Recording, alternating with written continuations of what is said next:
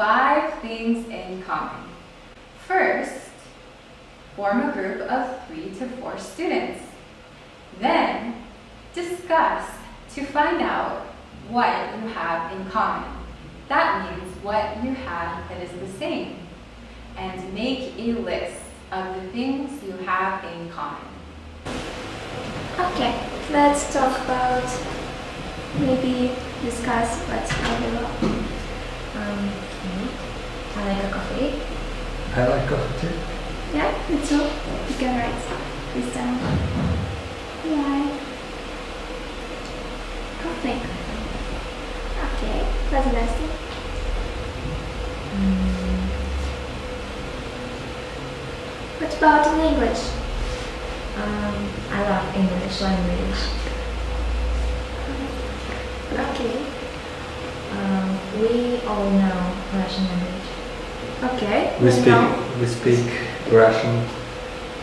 Uh, everyone speaks here Russian, so we can read this point.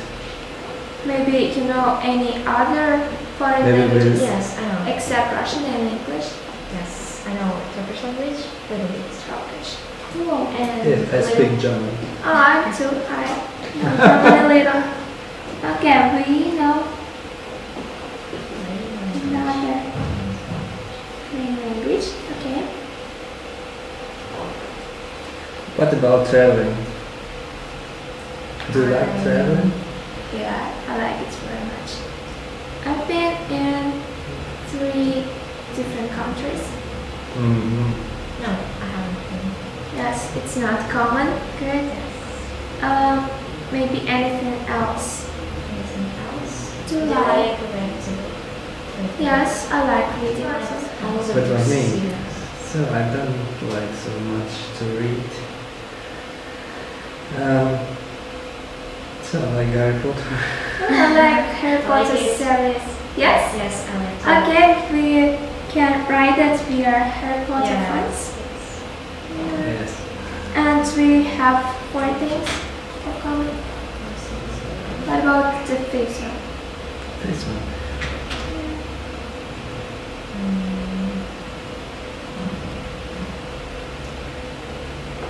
Do you like summer? Yes, Yes, I like. I like- Yes, I like summer too. It's so cold now. Okay, we like summer.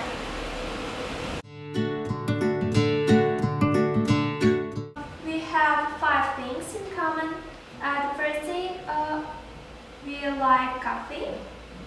Uh, the next thing, all of us uh, know another foreign language. Also, we like reading the books and uh, we are Harry Potter fans, and uh, we are like like summer. Nice job, you guys.